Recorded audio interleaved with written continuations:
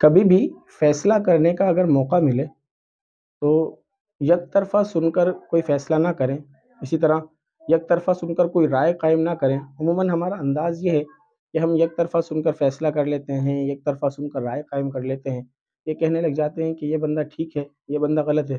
हालाँकि हकीकत कुछ और होती है। तो जब भी मौका मिले फ़ैसला करने का जब भी किसी की कोई बात सुने तो दो तरफ़ा सुना करें, दोनों फ़रीक़ैन की सुना करें, ताकि बात हमारे सामने क्लियर हो। किसी भी मौके पर हों, ज़िंदगी के किसी भी स्टेज पर हों, अल्लाह आपको तौफ़ीक दे, फ़ैसला करें तो हक़ पर फ़ैसला करें। और हक़ पर फ़ैसला करने का तरीक़ेकार यही है कि दोनों फ़रीक़ैन की सुने, दोनों की बात मुकम्मल सुने। अमूमन जो है, अपने की बात सुन ली जाती है और फ़ैसला कर लिया जाता है। बेशक अपना है, ठीक है, मगर दूसरे की भी बात सुना करें। दोनों की बात सुनकर जो हकीकत सामने आए, जो बात, जो हक़ सामने आए, उस पर फिर फ़ैसला हो।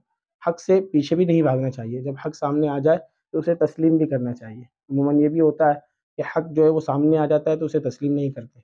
हक़ जब सामने आ जाए तो उसे तस्लीम करें। अल्लाह पाक हम सबको हमेशा हक़ के मुताबिक फ़ैसला करने की तोफ़ी और फ़रमाए।